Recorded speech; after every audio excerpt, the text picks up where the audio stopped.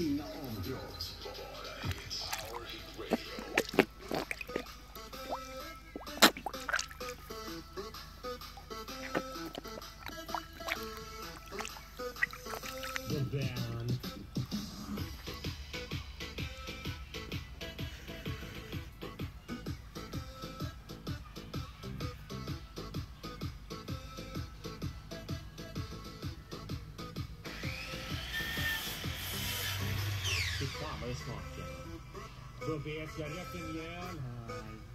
Kan du inte köpa cigaretter åt mig? Jag kan inte laga mat. För saker funkar inte här. Jag hittar inga. Det drar.